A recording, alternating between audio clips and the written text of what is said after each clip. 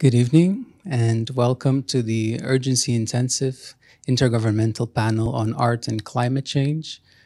I am Bruno Alves de Almeida, the curator of the Jan van Eyck Academy, and it's my pleasure to have you at the second edition of the Urgency Intensive, an annual program that the Jan van Eyck organizes to explore the relationship between art, design, and creative practice in face of climate emergency and environmental breakdown.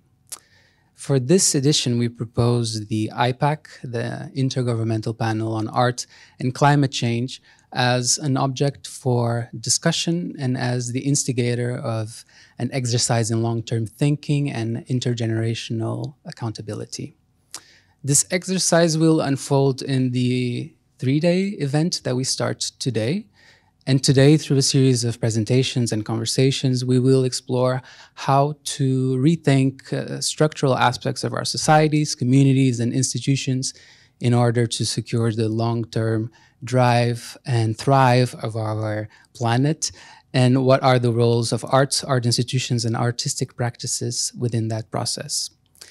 In the upcoming two days, we will have a discussion centered on the IPACC, and we will gather key uh, professionals in a structure of discussion inspired by the Japanese decision-making strategy of future design, in which interlocutors are divided in two groups, one from the present and another one enacting a generation in the future. We'll give you more information about it uh, tonight, but also in the upcoming two days, which you are invited to.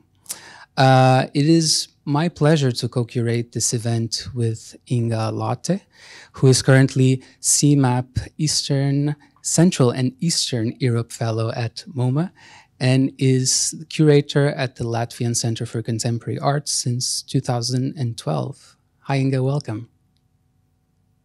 Hi, hi Bruno, hi everyone, and uh, thank you so much. Uh, yeah, I'm very happy uh, to be part of the event and would like to extend uh, great thanks to the Jan van Eyck Academy team, the participants of the Jan van Eyck Academy, and of course participants of the event, and um, Bruno for inviting me to work on this uh, endeavor.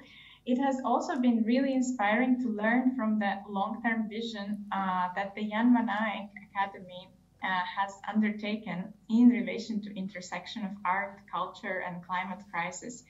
So it is my pleasure to give floor to the director of the Jan van Eyck Academy, uh, Hicham Khalidi.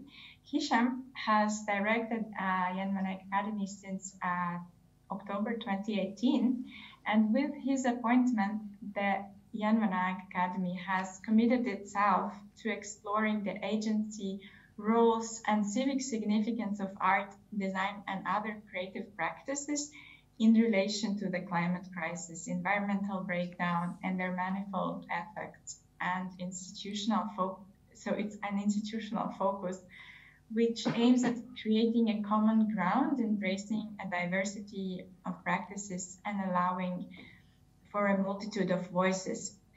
Uh, so prior to his appointment, um, Hicham Khalidi has been an associate curator at uh, Lafayette Anticipations in Paris. He has also curated Act Two, a group, a group exhibition in Beirut for the Sharjah Biennial in 2017, and served as a cultural attaché to the Biennale of Sydney in 2016, as well as uh, was the chief curator of the Marrakesh uh, Biennial in 2014. So without further ado, um, yeah, I give the word to Hicham Khalidi.